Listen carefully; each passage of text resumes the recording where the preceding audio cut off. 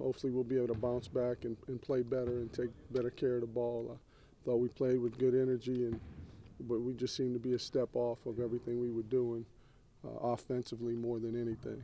No, no question, because we play good defense. Our defense gives us a chance every day. You know, when Jalen and Alex Caruso and and uh, Danuel House don't have good games, it's going to be tough for us to win, especially on the offensive end.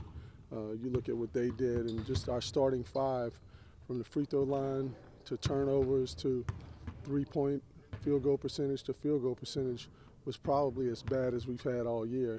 And we're down three with a chance to get a big rebound, and uh, they hit a three on us to go up six. So don't take them for granted. The, the, the problem is they're a one in eight team by record, but they're not a one in eight team when you play them. I, I think they play very good defense.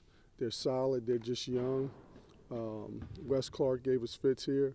We we struggled against them here. You know, I, it's not a game that I feel like, oh well, we, we just played bad. Or just the matchups and their guards were tough for us to, to match up against.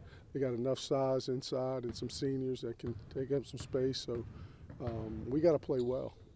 That that's a, a, big part of it. But the thing with th this team, uh, they've been up at half. They were up seven against us.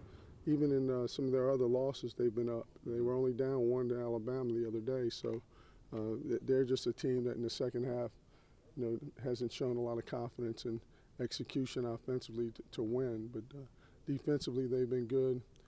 Obviously, they'll be better at home. So you know, it, it's about our team. You know, it's, it's about us executing. We've had 16 turnovers our last two games. You can't win consistently doing that. Oh, every game is big, and I think uh, it's going to start today in practice. We're just going to go hard and just be ready, be ready for um, to play them because we played them like a couple of weeks ago, and we, we already know what they're going to do. Uh, we got uh, we got to guard and keep everybody out the paint, and we got to uh, we just got to execute what, what coach got us doing, and we just got to do it at a, at a high at a high pace. Uh, Williams is a really good kid. You know, we just got to defend them. They got some guards that can really play. So once we play good defense and box it and win the rebounding war, we should do really good.